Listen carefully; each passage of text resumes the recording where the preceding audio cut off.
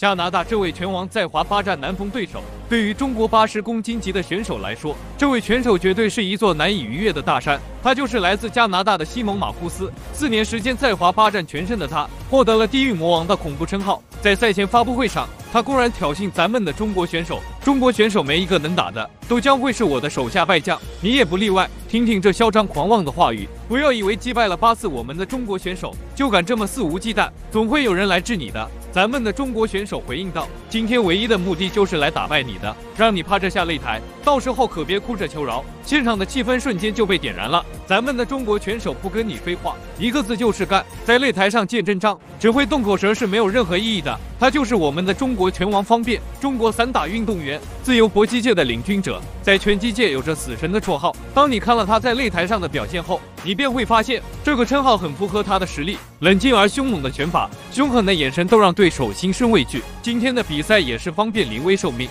看看咱们的死神能否击败这位外国悍将，击碎他的不败神话。新来的朋友点点赞，关注一下，让更多的人看到我们中国选手的霸气。主持人宣布比赛开始，双方选手开始入场。率先入场的是这位来自加拿大的拳王西蒙马库斯，外表看去肌肉发达，长得很壮硕，比其他的选手都要大上一圈，曾获得俄瑞冠军。莱恩 f 轻重量级冠军，WPMF 幺七五磅世界泰拳冠军。二零一零年首次来华征战，仅用一回合就 KO 了我国的散打名将郭新行。二零一三年十月在搏击王者争霸赛佛山站，以点数击败中国的散打名将 KO 之王江春鹏，他的战绩还是很惊人的。同年十二月在阿根廷举办的比赛中，以点数击败了阿根廷八十公斤级排名第一的达米安布江，将比赛记录刷新为三十六胜一平，二十二场 KO 对手，由此他就有了不败之王。的称号，此后继续征战，延续不败神话，战绩更是达到了三十九胜。紧接着出场的就是咱们的中国拳王死神方便，曾连续五年获得全国散打锦标赛八十公斤级亚军，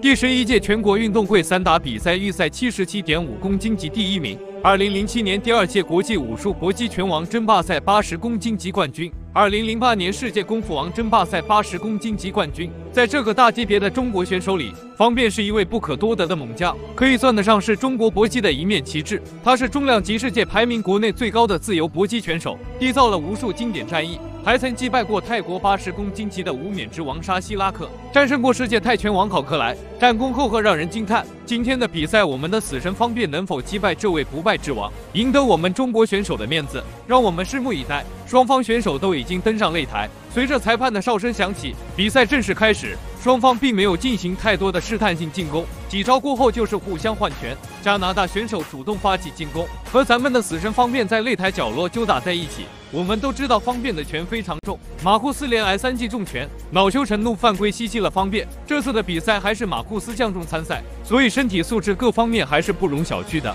两人都可以算得上是拳击界的王者，所以比赛的压力都很大。这一战对于双方来说都是非常的关键，但方便的连续重拳让马库斯无法。做出恰当的反击，有力没出使的感觉。两人就打在一起，马库斯半摔咱们的中国选手。裁判见状，立马上前示意马库斯警告一次，方便一个后手摆拳命中马库斯。紧接着一套组合拳跟上，马库斯被打得无法还击，逐渐变得越来越急躁。两人互相重拳对攻，你来我往。随后方便抓住机会，一记重拳命中，将马库斯击倒在地。马库斯倒在了擂台绳网上，方便激动的举起拳头。场外的观众更是高声欢呼，裁判上前读秒，马库斯又重新站了起来。比赛来到第二回合，可以看出马库斯非常着急进攻，两人再次的缠抱在一起。裁判上前就是喊停两人，示意双方分开，禁止搂抱战术。随后方便看准机会，两次重拳再次击倒了加拿大选手马库斯。此刻场外的气氛彻底沸腾了，观众欢呼雀跃，呐喊声持续不断。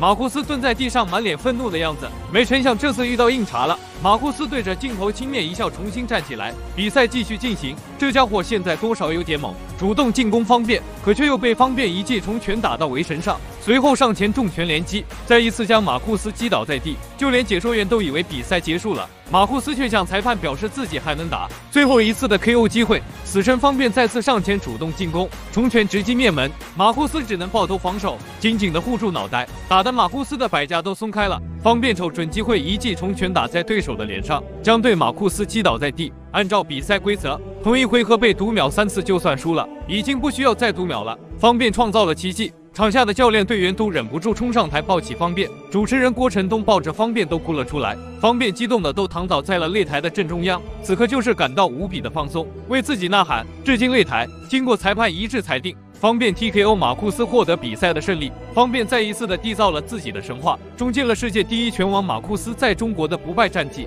对方便来说，这不仅仅是傲人的战绩，更是无法匹及的荣誉。好了，今天的视频到这里就结束了，喜欢的朋友多点点赞转发，我们下期再见。